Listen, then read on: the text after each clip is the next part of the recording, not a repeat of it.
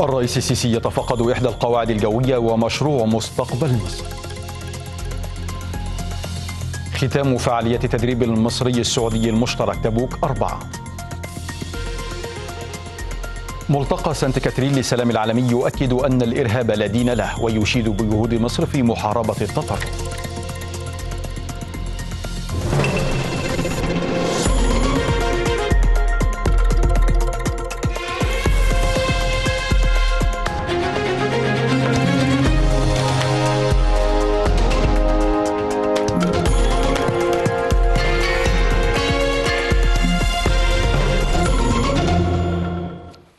الرابعة عصرا بتوقيت القاهرة الثانية بتوقيت جرينتش موعد نشرة إخبارية جديدة من النيل. أهلا بكم. تفقد الرئيس عبد الفتاح السيسي فجر اليوم إحدى القواعد الجوية ومشروع مستقبل مصر.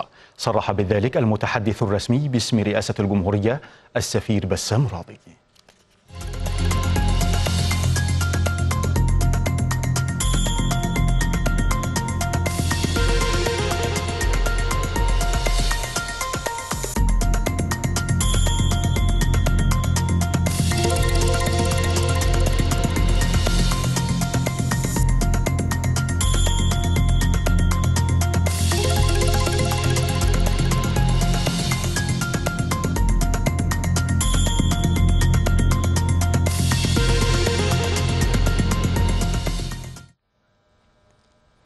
اختتمت فعاليات تدريب المصري السعودي المشترك تبوك أربعة الذي نفذته عناصر من القوات المسلحة المصرية والسعودية في نطاق المنطقة الجنوبية السعودية وذلك بمشاركة مراقبين من عمان والبحرين والإمارات العربية المتحدة.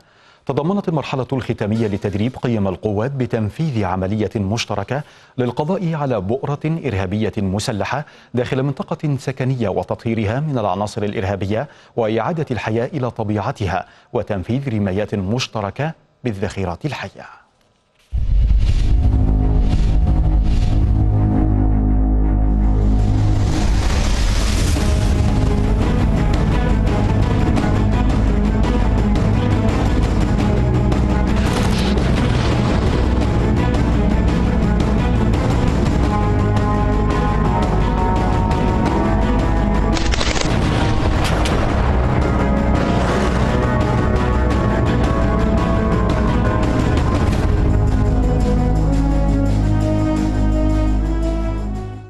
اختتمت فعاليات التدريب المصري السعودي المشترك تبوك أربعة والذي نفذته عناصر من القوات المسلحة المصرية والسعودية بنطاق المنطقة الجنوبية العسكرية. تضمنت المرحلة الختامية للتدريب قيام القوات بتنفيذ عملية مشتركة للقضاء على بؤرة إرهابية مسلحة داخل منطقة سكنية وتطهيرها من العناصر الإرهابية. بدأت المرحلة بقيام المقاتلات متعددة المهام بتنفيذ طلعات الاستطلاع الجوي وتصوير الأهداف الخاصة بالعناصر الإرهابية. كما تم دفع عناصر الاستطلاع والمهندسين للتغلب على العبوات الناسفة وتأمين طرق وخطوط الاقتحام.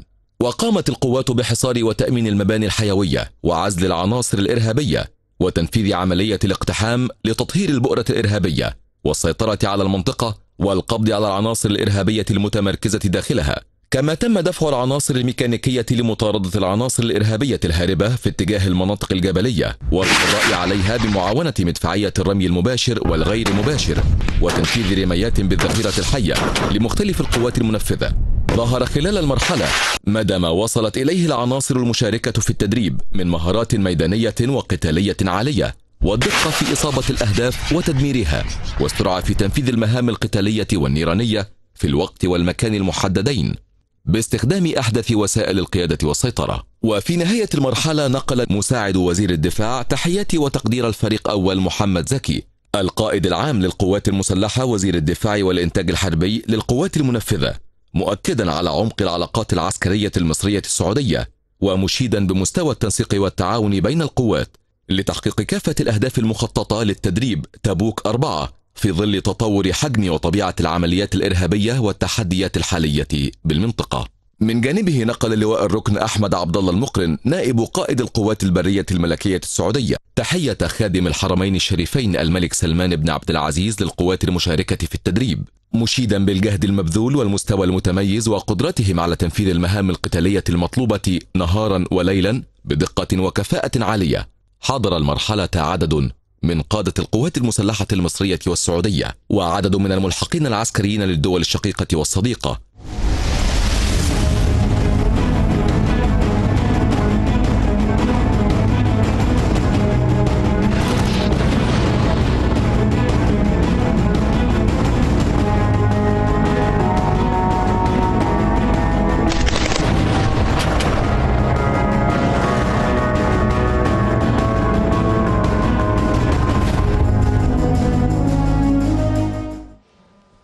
وللمزيد من المتابعة ينضم إلينا عبر الهاتف سيادة اللواء نصر سالم رئيس جهاز الاستطلاع الأسبق سيادة اللواء إذا أهمية هذه التدريبات العسكرية بالطبع وتبادل الخبرات والفائدة التي تعود على القوات المسلحة سواء المصرية وأيضا السعودية.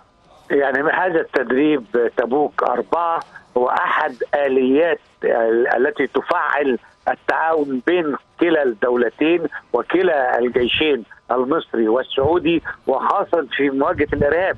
نعم. ده قوات برية تتدرب على أرضنا في المنطقة الجنوبية العسكرية بتتعاون مع القوات الجوية بيختتم بيختتم هذا التمرين أو التدريب بين القوتين بتمرين بالذخيرة الحية وده أرقى مراحل التدريب إن هم بيقضوا على بؤرة إرهابية في أحد المناطق النائية كلا القوتين بيعملوا معا في تعاون واحد بيتبادلوا فيه كل المفاهيم مع بعض كل الأفكار الجديدة التدريب بتاعهم. هنا بيطبقوا كل ما تعلموه خلال الفترة اللي فاتت في هذا التمرين اللي هو بينتهي بالذخيرة الحية وبالتالي بيرفع مستوى كلا الجانبين اذا كان السعودي أو المصري بيضيف إلى قدراتهم القتالية خبرات جديدة وكفاءة جديدة. وفي النهاية بنقول بيصب في صالح كلا القوتين وفي صالح تأمين بلادنا والحفاظ على أمننا القومي العربي لكلا الدولتين. بشكرك سيادة اللواء ناصر سالم رئيس جهاز الاستطلاع الأسبق كنت متحدثا إلينا من القاهرة.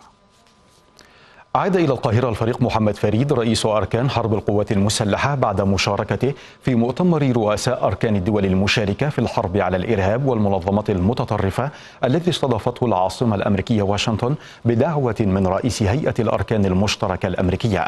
تناول المؤتمر العديد من القضايا التي تتعلق بموضوعات مكافحة الإرهاب حيث تم استعراض نتائج العملية الشاملة سيناء 2018 في بعديها العسكري والتنموية كما ناقش المؤتمر جهود التحالف الدولي لمواجهة تنظيم داعش الإرهابي وتبادل المعلومات ومكافحة الهجرة غير الشرعية والجريمة العابرة للحدود والجهود المشتركة للقضاء على الإرهاب في ظل تطورات الأوضاع على الساحتين الإقليمية والدولية.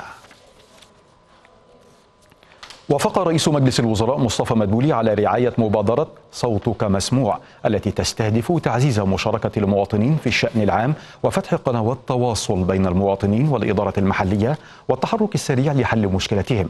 وأكد مدبولي أن المبادرة تجسيد لنهج الحكومة في التواصل مع المواطنين تنفيذا للتكليفات الدائمة للرئيس عبد الفتاح السيسي بأهمية الاستماع إلى متطلبات المواطنين لافتا إلى أن المبادرة تتماشى مع استراتيجية مصر لتحقيق التنمية المستدامة رؤية مصر 2030 كان رئيس مجلس الوزراء قد قال خلال اجتماع مجلس المحافظين أمس إنه ستكون هناك اجتماعات لكل محافظ مع رئيس الجمهورية ليعرض كل محافظ التحديات التي تواجهه ورؤيته وجهوده لتطوير الخدمات المقدمة للمواطنين.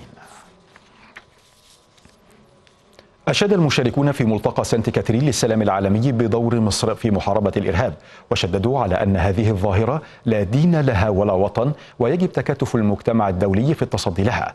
وأعلن وزير الأوقاف الدكتور محمد مختار جمعة من دير سانت كاترين ظهر اليوم ميثاق سانت كاترين للسلام العالمي خلال ختام فعاليات الملتقى حيث اتفق الحاضرون على أن رسالة جميع الأديان هي السلام وأنه لا أمن ولا استقرار للعالم إلا بسلام عادل وشامل للجميع.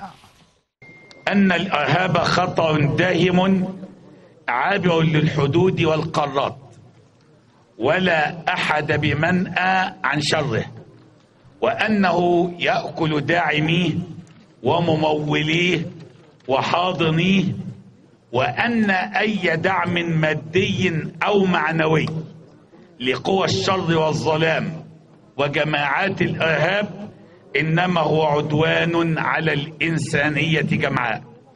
ولا بد من إرادة دولية وإنسانية جادة وحاسمة في القضاء على قوى الشر والظلام والإرهاب تخليصا للإنسانية جمعاء من شر الإرهاب والإرهابيين.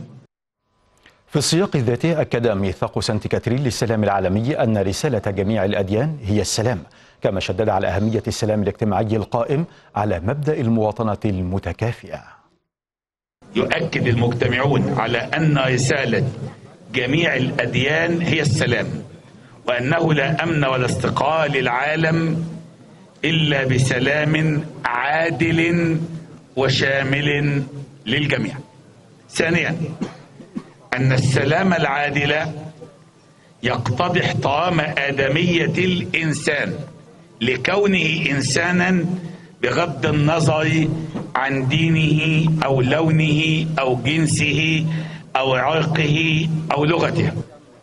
ثالثا يؤكد الملتقى على أهمية السلام الاجتماعي القائم على مبدأ المواطنة المتكافئة. رابعا أن الإرهاب لا دين له ولا وطن له بل هو خطر داهم على الإنسانية جمعاء وللمزيد من المتابعين ينضم إلينا عبر الهاتف الدكتور إبراهيم رضا أحد علماء الأزهر الشريف. دكتور إبراهيم في ظل التحديات المتعددة سواء على صعيد مكافحة الإرهاب وأيضا انتشار بعض الأفكار المتطرفة والمغلوطة كيف تسهم هذه الملتقيات في محاربة مثل هذه الظواهر؟ الحمد لله رب العالمين وأصلي وأسلم على من أرسله ربه رحمة للعالمين وعلى جميع إخوانه من الأنبياء والمرسلين. بداية تحياتي لحضرتك ولمشاهديك الكرام في كل مكان. بالتأكيد نحن في مصر نحتاج إلى المزيد والمزيد من مثل هذه اللقاء اللقاءات والمواثيق التي نصدرها للدنيا بأسرها لكي يتأكد العالم من حولنا أن مصر حين تتحرك من خلال علماء الأزهر ورجال الكنيسة ومن خلال احترامها واحتضانها للأديان السماوية أو لما نطلق نطلق عليه مفهوم الديانات الإبراهيمية الإسلام والمسيحية واليهودية. فهي رسالة من مصر الأزهر ومن مصر الكنيسة ومن مصر المعبد أيضا إلى أننا نستوعب في هذا الوطن جميع المختلفين. وأن ما قام به معالي وزير الأوقاف المصري الدكتور محمد جمعة يعد نبراسا لهذه الأمة حين يخرج علينا ويؤكد على أن احترام إنسانية الإنسان هو الهدف السامي الذي من أجله رفعنا نحن المؤمنين بالأديان راية السلام وليست الاستسلام. نعم. راية التعايش المشترك راية التعددية والتنوع نعم. راية الأوطان والاحتكام لدولة القانون بشكرك دكتور إبراهيم رضا أحد علماء الأزهر الشريف كنت متحدثا معنا من القاهرة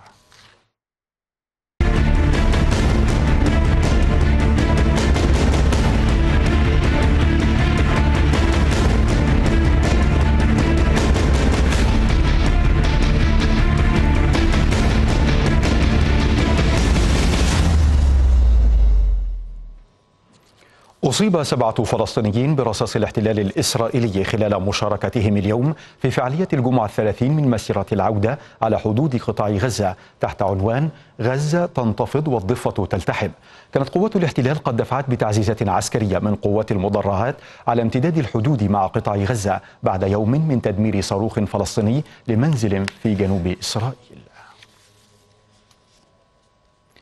كان مبعوث الأمم المتحدة إلى الشرق الأوسط نيكولاي ميلادينوف قد حذر خلال كلمة له أمام مجلس الأمن من احتمال اندلاع نزاع جديد مدمر في قطاع غزة مشيرا بشكل خاص إلى أن اقتصاد القطاع ينهار بشكل كارثي.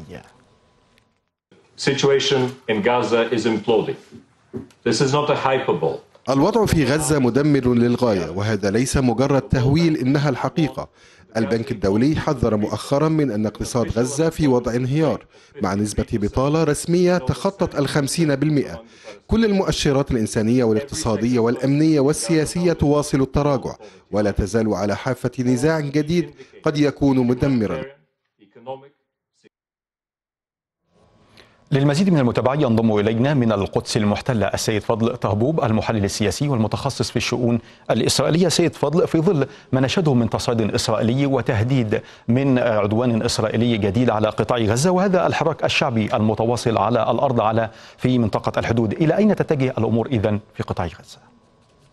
يعني واضح تماما أن الإسرائيليين لم يعد يتحملوا ما يجري على قطاع غزة أو على قطاع الحدود ويسبب لهم إزعاج كبير وبعض الأضرار وطبعا استنفار لعدد كبير من الجيش الإسرائيلي وطبعا هناك مخاوف وأيضا في هناك سكان في المنطقة عم بشعروا بالرعب والخوف والمضايقة وهذا الوضع إسرائيل لا تتحمله. بشكل عام إسرائيل الوضع الداخلي بإسرائيل لا يتحمل أي صراع أو أي مواجهات من هذا النوع حتى ولو كانت بالشكل الموجود في قطاع غزة عبارة عن عمل سلمي. يعني دون قصف نعم. دون دون قنابل دون قتال. هذا الوضع عم يتحمله والاسرائيليين الآن مش مقر يعني مقرين إنه ممكن يكون في هناك انتخابات قديمة يعني جديدة للحكومة الإسرائيلية. وفي هذه الحالة متعودين الإسرائيليين أن يقوموا بعمل ما استعراضي حتى يحصلوا على انتخابات أفضل يعني ويستخدموا طبعا القتال ضد الفلسطينيين سواء في غزة أو في أي مكان آخر أو حتى في لبنان أو في سوريا من أجل رفع أسمهم في الانتخابات. فهذه المرحلة اللي رغم إنه مضى عليها فترة طويلة المسيرات في قطاع غزة الا أنه نعم. الآن الإسرائيليين لم يتحملوا ويحاولوا طبعا أن يختلقوا مشكلة محددة لمهاجمة قطاع غزة. وطبعا أعلنوها بصراحة ووضوح إنه هم مستعدين لضرب غزة بشكل قاسي ومدمر ولكن رغم كل ذلك الإسرائيليين في الداخل لا يتحملوا أي نعم. نوع من الضغط العسكري. أيضا سيد فضل أين المجتمع الدولي؟ أين المجتمع لا يتحمل صراع. نعم. لكن أين المجتمع الدولي أيضا من ما يحدث من تصعيد إسرائيلي خاصة في ظل الرفض الدولي لقرارات الولايات المتحدة مثلا وهذا التصعيد لكن ربما لم يتم اتخاذ خطوات عملية على أرض الواقع لمواجهة مثل هذه الخطوات. آه واضح تمام إنه عدم وجود حلول سياسية. ووجود حصار كامل لقطاع غزة وضع اقتصادي سيء وضع اجتماعي سيء هذا يؤدي إلى صراع تحت كل الشروط سيؤدي إلى المواجهة المباشرة. طبعا نعم إسرائيل هي اليد العليا من ناحية عسكرية ولكن الشعب الفلسطيني صاحب حق وقضية وهناك قرارات وشرعية دولية لصالحه إسرائيل لا تلتزم فيها وإسرائيل هي التي تعيش خارج القانون الدولي. بمعنى آخر هم الذين يتعدوا على حقوق الإنسان والقوانين الدولية والشرعية الدولية وليس قطاع غزه. نعم. فإسرائيل تحاول في بعض الأحيان أن تهرب إلى الأمام وتختلق مشكلة أو معركة جديدة حتى يعني تكسب الوقت أو تكسب مرحلة لصالحها. لا أكثر ولا أقل، الإسرائيليين مغامرين، الإسرائيليين خطيرين، والإسرائيليين مستعدين لمعركة جديدة لصالح الانتخابات وليس لشيء آخر. بشكرك السيد فضل طهبوب المحلل السياسي والمتخصص في الشؤون الإسرائيلية كنت معنا من القدس المحتلة.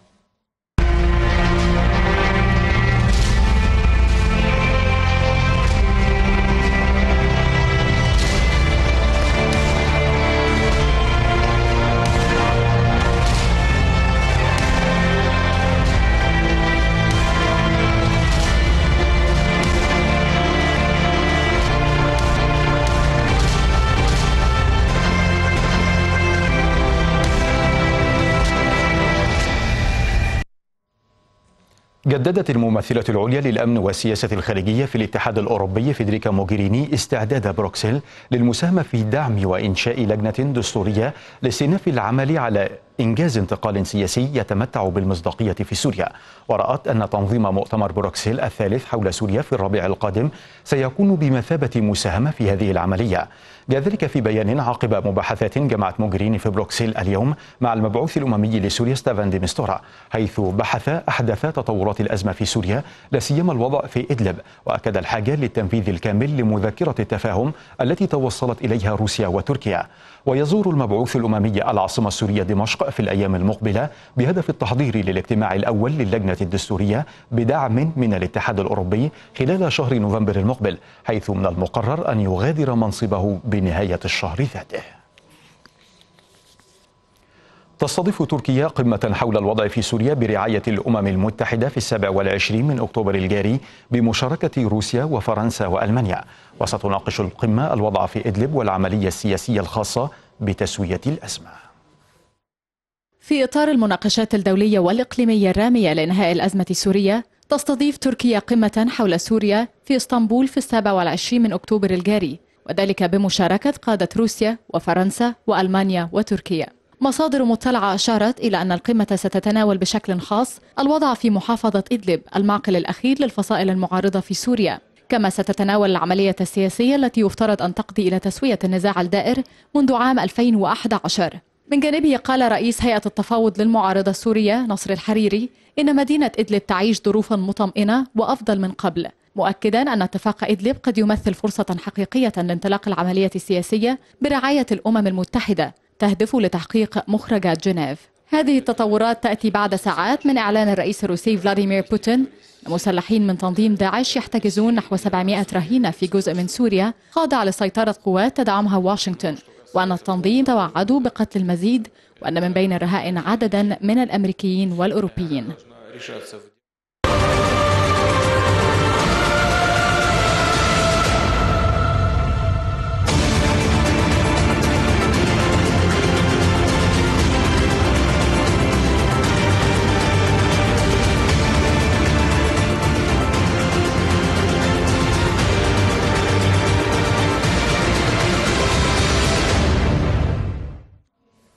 قال نائب الرئيس اليمني الفريق علي محسن صالح إن إيران تدعم وترعى مشروعا تخريبيا وارهابيا عبر ميليشيات الحوثي. وأكد صالح خلال لقائه مع محافظ صعدة هادي طرشان عزم القيادة السياسية اليمنية وتحالف دعم الشرعية في اليمن المضي قدما للقضاء على ميليشيات الحوثي مشيدا بالتقدم الذي يحرزه الجيش اليمني في بلاده وذلك على مختلف الجبهات في محافظه محافظة صعدة بدعم قوة تحالف دعم الشرعية. وشدد نائب الرئيس اليمني على ضرورة تكثيف الجهود لاستكمال عملية تحرير البلاد. نجحت العملية العسكرية المتلاحقة للجيش اليمني في اليمن مدعوما بتحالف دعم الشرعية في عزل محافظة صعدة عن محافظتي الجوف وحجة بشكل كامل. كما قتل عشرون عنصرا من ميليشيات الحوثي بينهم قيادي في كمين نفذته القوات السعودية قرب الحدود مع اليمن. بعد تكبيدهم خسائر كبيرة في صفوفهم خلال الأيام الماضية. قتل العشرات من ميليشيات الحوثي بينهم قيادي في كمين نفذته القوات السعودية داخل الأراضي اليمنية قرب الحدود السعودية. مصادر عسكرية يمنية قالت إن القوات السعودية المشتركة مكونة من القوات البرية ومشاة البحرية تعاملت مع العناصر الحوثية الملقبة بكتيبة الموت واستهدفتهم بقذائف الهون والمدفعية ومساندة من مروحيات الأباتشي وطيران تحالف دعم الشرعية باليمن ودمرت تعزيزات الحوثيين وإمداداتهم. في سياق متصل أكد العميد ركن عبدو مجلي المتحدث باسم الجيش الوطني اليمني أن القوات باتت تسيطر على مديريتي باقم واكتاف في محافظة صعدة معقل ميليشيات الحوثيين شمال البلاد. بالإضافة إلى نجاح العمليات العسكرية المتلاحقة للجيش في عزل محافظة صعدة عن محافظتي الجوف وحجة بشكل كامل. وفي مدينة الحديدة جدد طيران التحالف غاراته على مواقع وتجمعات تابعة لميليشيات الحوثي داخل المدينة. وشن التحالف غارتين جويتين على تجمعات الحوثيين جوار فندق الجزيرة العربية وغارتين بجوار منطقة السابع من يوليو مستهدفة تجمعات وآليات عسكرية للميليشيات. من جهة أخرى أسقطت قوات اللواء 35 مدرع في محافظة تعز طائرة تجسس مسيرة تابعة لميليشيات الحوثي الانقلابية في منطقة الحجيرية. وبحسب اللواء 35 مدرع العميد عدنان الحمادي. فإن طائرة تجسس تابعة لميليشيات الحوثي. كانت تحلق فوق السماء الحجيرية وترصد مواقع اللواء في ريف المحافظة حيث تم رصدها وإسقاطها في مديرية المواسط جنوب تعز. حذرت دولة الإمارات العربية المتحدة من محاولة تقويض استقرار السعودية وتحجيم دورها على خلفية قضية اختفاء الصحفي السعودي جمال خاشقجي معتبرة أن أمن منطقة الشرق الأوسط يعتمد على المملكة. وكتب وزير الدولة الإماراتي للشؤون الخارجية أنور جرجاش على حسابه على موقع تويتر أن أبو ظبي ترفض محاولات تقويض استقرار السعودية مضيفا أن أمن المنطقة واستقرارها يعتمد على السعودية. قال خطيب المسجد الحرام في مكة المكرمة خلال صلاة الجمعة إن السعودية تواجه حملة افتراءات وشائعات داعيا سكان المملكة إلى التلاحم لمواجهتها. وأشار الشيخ عبد الرحمن ابن عبد العزيز السديس إلى أن ترديد الاتهامات والادعاءات والحملات الإعلامية المغرضة لن يثني الرياض عن التمسك بمبادئها وثوابتها ودعا إلى الاعتماد على الحقائق وعدم بناء المواقف على الافتراءات. قال رئيس الوزراء اللبناني الأسبق نجيب ميقاتي إن مسار تشكيل الحكومة الجديدة وصل إلى نهايته بعد استكمال بعض الاتصالات والمشاورات الأخيرة متوقعا أن يتم الإعلان عن الحكومة الجديدة خلال وقت قصير. وأكد ميقاتي أن عملية الأخذ والرد التي تجري حاليا بين القوى السياسية بشأن الحصص والحقائب الوزارية هي أمر طبيعي عند كل تأليف للحكومة. مشيرا إلى أن الخلاف على بعض التفاصيل لا يبدو معرقلا للمسار العام لتشكيل الحكومة لا سيما أنه بات واضحا لدى الجميع ضرورة الإسراع في إنهاء هذا الملف منعا لدخول تعقيدات إضافية إلى الواقع اللبناني بسبب التطورات في المنطقة. قالت المندوبة الأمريكية لدى مجلس الأمن نيكي هيلي إن الحكومة الإيرانية تستغل الأطفال في القتال لفرض سطوة النظام لافتة إلى أن ميليشيات البسيج الإيرانية تجند أطفالا وتشركهم بالقتال في حروب خارجية. وقالت هيلي في كلمة لها أمام مجلس الأمن الدولي إن الدول التي تتعامل مع حكومة إيران بوصفها حكومة طبيعية تغفل عن أن هذه الحكومة تستغل أطفالهم في القتال لفرض سطوة النظام ونفوذه. وأوضحت المندوبة الأمريكية أن بلادها توصلت مؤخرا لبعض مصادر تمويل البسيج وبناء عليه قامت بتوقيع عقوبات على عشرين مؤسسة تمول هذه الميليشيات. وصل وزير الخارجية الأمريكي مايك بومبيو إلى المكسيك وذلك وسط أزمة هجرة تشهدها أمريكا الوسطى وتهديد الرئيس الأمريكي دونالد ترامب بإغلاق الحدود مع المكسيك لمنع دخول آلاف المهاجرين. ويلتقي بومبيو اليوم مع رئيس المكسيك بينيا نييتو في العاصمة مكسيكو حيث سيتم بحث ملف مكافحة الهجرة غير القانونية. كان ترامب قد هدد في تغريدة على تويتر بنشر الجيش وإغلاق الحدود الجنوبية لبلاده لوقف مجموعات كبيرة من اللاجئين متجهة إلى الولايات المتحدة مع انضمام المزيد من هندوراس والسلفادور لآلاف المهاجرين في جواتيمالا في تحركهم نحو الشمال. كما جدد ترامب تهديداته بقطع المساعدات المالية لدول أمريكا الوسطى المعنية بمسألة الهجرة. قبل ثلاثة أسابيع من انتخابات التجديد النصفي للكونغرس صعد الرئيس الأمريكي دونالد ترامب تهديداته في مواجهة المهاجرين غير الشرعيين عبر الحدود الجنوبية فبعد التهديد بقطع المساعدات المالية عن أمريكا الوسطى لوح ترامب بالاستعانة بالجيش لوقف مجموعات كبيرة من اللاجئين متجهة إلى الولايات المتحدة مع انضمام المزيد من هندوراس والسلفادور لآلاف المهاجرين في جواتيمالا في تحركهم نحو الشمال. هناك العديد من الأسباب فهؤلاء المهاجرون البالغ عددهم أربعة آلاف شخص وأود أن أشكر الحكومة المكسيكية لأنها تمنعهم قبل الوصول إلى حدودها. وكما تعلمون لدي القدرة على إرسال الجيش للدفاع عن حدودنا الجنوبية وذلك إذا تطلب الأمر. تصعيد إدارة ترامب يتزامن مع مغادرة نحو ثلاثة ألاف مهاجر في الأيام الأخيرة من هندوراس تلبية لدعوة انتشرت على مواقع التواصل الاجتماعي ليعبروا الحدود مع جواتيمالا والتوجه نحو المكسيك هربا من العنف والفقر في بلادهم وبحثا عن حياة أفضل في الولايات المتحدة. الرئيس الأمريكي أناني لأنه يعلم بوجود أناس معهم أطفال يعانون.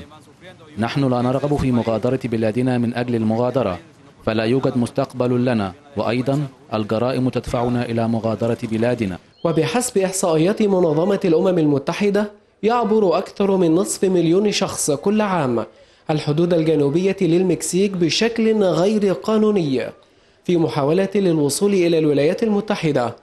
ويفرون من العنف والفقر في جواتيمالا والسلفادور وهندوراس.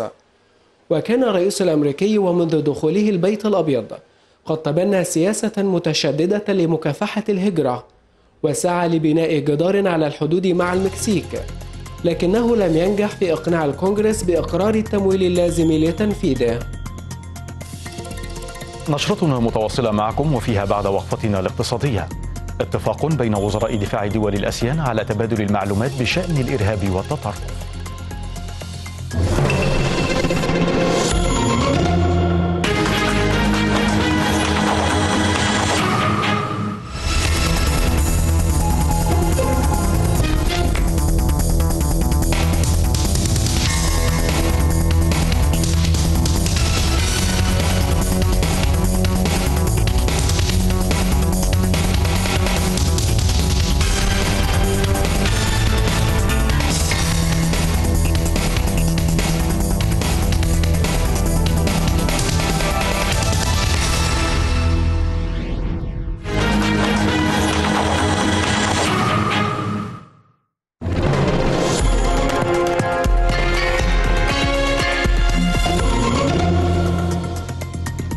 الرئيس السيسي يتفقد إحدى القواعد الجوية ومشروع مستقبل مصر.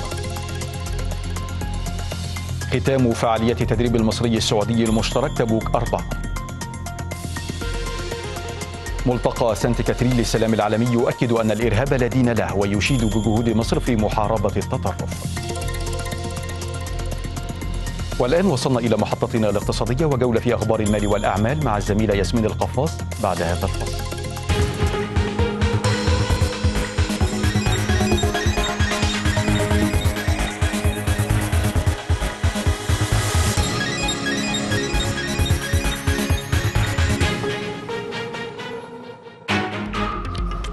مشاهدينا ومتابعينا الكرام مرحبا بحضراتكم في وقفتنا الاقتصادية.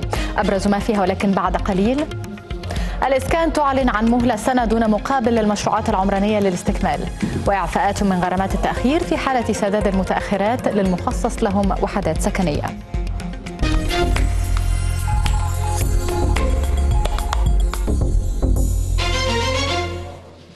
التفاصيل حيث وافقت هيئة المجتمعات العمرانية الجديدة على منح جميع المشروعات بنشاط عمراني متكامل أو خدمي والتي بلغت نسبة إنجازها 95 من المئة في المئة مهلة سنة دون مقابل مادي لاستكمال باقي الأعمال بالمشروع. كما قررت الهيئة الإعفاء عن سداد غرامات التأخير للمواطنين المخصصة لهم الوحدات والأراضي المقامة والمباعة بمعرفة الهيئة والساري تخصيصها فقط. أشارت الهيئة إلى أنه سيتم اتخاذ جميع الإجراءات القانونية والإدارية ضد المتقاعسين عن السداد وذلك فور انتهاء المدة المقررة لثلاثة أشهر اعتبارا من الحادي والعشرين من أكتوبر الجاري على أن تسري هذه التيسيرات فقط في حالة سريان التخصيص ولا تسري على حالة الإلغاء.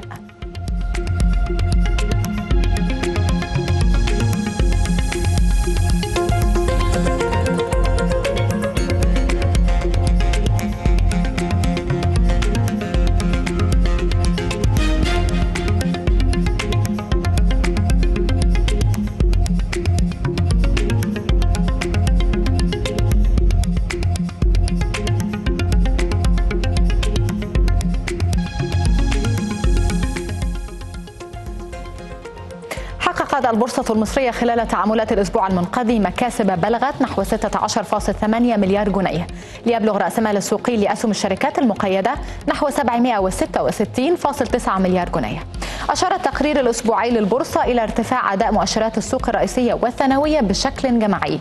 حيث زاد مؤشر السوق الرئيسي EGX 30 بنسبة 2.72 من المئة في المئة. وارتفع مؤشر الأسهم الصغيرة والمتوسطة EGX 70 بنسبة أو بنحو 88 من المئة في المئة.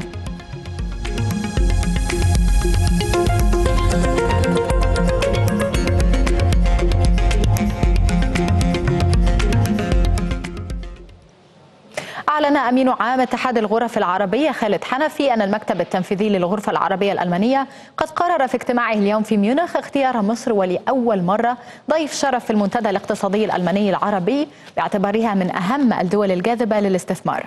يعد المنتدى والذي سيعقد في برلين خلال يونيو القادم من أهم المنتديات الاقتصادية العالمية. يأتي هذا في حين تشارك الغرفة العربية الألمانية تشارك في المنتدى الألماني العربي للطاقة والذي يعقد في القاهرة يومي الرابع والعشرين والخامس والعشرين من الشهر الجاري. وسيقوم وفد من رجال الأعمال والشركات وأعضاء البرلمان الألماني بزيارة لمنطقة قناة السويس على هامش المنتدى. أكدت وزيرة التخطيط هلا السعيد أن إتاحة السداد الإلكتروني لخدمات الشهر العقاري المتاح سدادها إلكترونيا من خلال موقع بوابة الحكومة المصرية يأتي في إطار حرص وزارة التخطيط بالتعاون مع وزارة العدل على تفعيل منظومة الدفع والتحصيل الإلكترونية. أوضحت السعيد أن إتاحة هذه الخدمات يأتي أيضا على هامش تطوير نظم الخدمات الحكومية وإتاحتها إلكترونيا وذلك ضمن خطة الإصلاح الإداري واستراتيجية التنمية المستدامة التي تسعى وزارة التخطيط إلى تطبيقها بشكل كامل. في المغرب أعلنت الحكومة أن مشروع الموازنة للعام 2019 من المتوقع أن تقلص العجز إلى 3.3 من المئة من الناتج المحلي الإجمالي في العام القادم وذلك انخفاضا من 3.8 في المئة متوقعة في 2000 أو متوقعة في 2018 ذكرت الحكومة المغربية أن نفقات الاستثمار ستصل إلى 195 مليار درهم في 2019 بزيادة 5 مليارات درهم عن العام الحالي. كما تخطط الحكومة لإنفاق 17.67 مليار درهم على دعم القمح وغاز الطهي والسكر بزيادة 4.65 مليار درهم عن العام الحالي.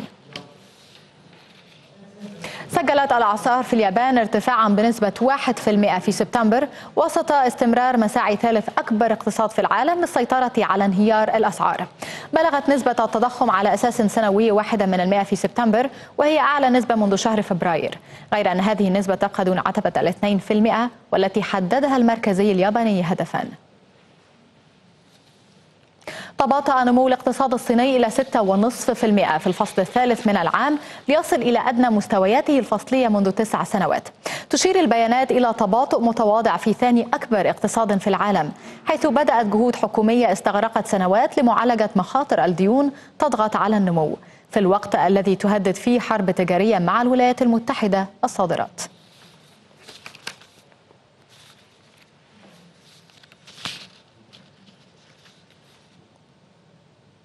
وصلنا إلى نهاية وقفتنا الاقتصادية ولكن بانوراما نيل ما زالت مستمرة مع زميلي محمد شعبان ولكن بعد الفاصل.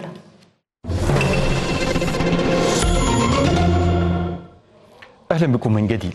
اتفق وزراء دفاع دول جنوب شرق آسيا على مجموعة من القواعد الإرشادية للتعامل مع المواجهات الجوية غير المتوقعة بين طائراتها العسكرية إضافة إلى اتفاق لتبادل المعلومات بشأن الإرهاب والتطرف. ووقع قادة رابطة دول جنوب شرق آسيا المؤلفة من عشر دول الإعلان المشترك بعد اجتماع في سنغافورة. واتفقت الدول العشر أيضا على تبني مبادرة أعيننا التي أطلقتها ست دول أعضاء في يناير كمنصة لتبادل المعلومات. بشأن الإرهاب والراديكالية والتطرف العنيف والتهديدات الأخرى غير المعتادة في المنطقة.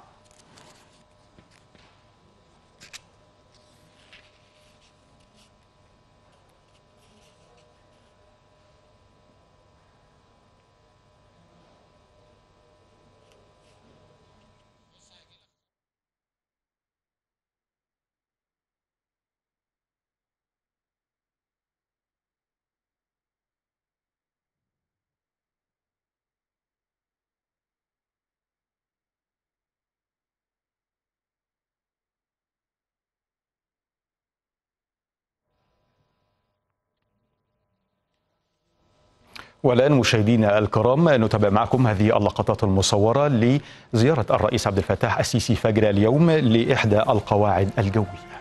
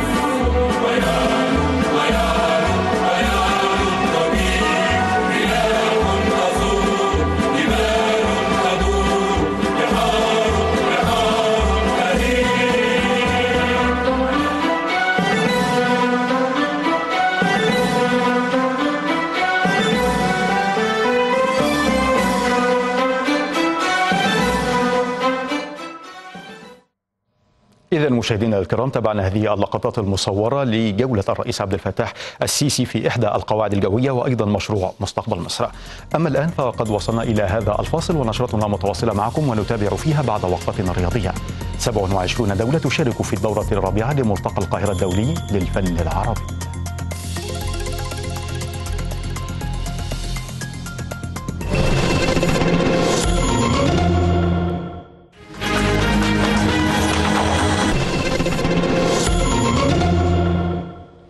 أهلا بكم مجددا. عقد بدار الأوبرا المصرية مؤتمر صحفي للإعلان عن الدورة الرابعة لملتقى القاهرة الدولي للفن العربي بمشاركة 27 دولة والذي سوف تنطلق فعالياته في الثالث والعشرين من أكتوبر ويحمل اسم الفنان سيد العربي عميد الخط العربي.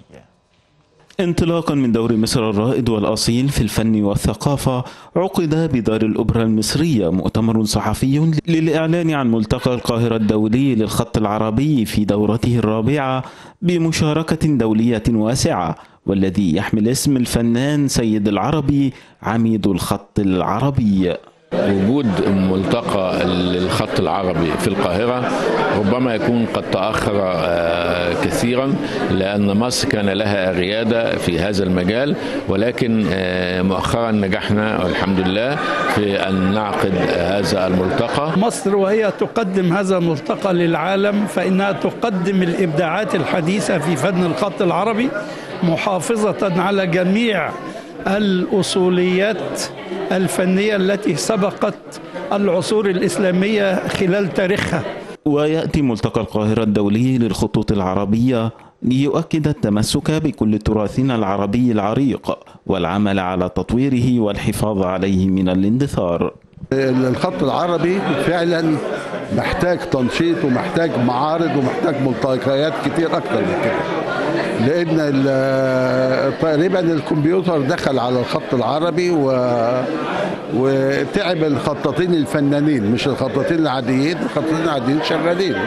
اللي بيكتب يفط قماش اللي بيكتب ورق اللي بيعمل حاجات مدارس إنما الخطاطين الفنيين طبعا عملة نادرة هذا الملتقى الرائع اللي بيجمع المبدعين في شتى دول العالم وبالذات الوطن العربي ومصر مليئة بالمبدعين في في هذا الفن الجميل اللي الله سبحانه وتعالى كرمه في أكثر من موضع في القرآن الكريم.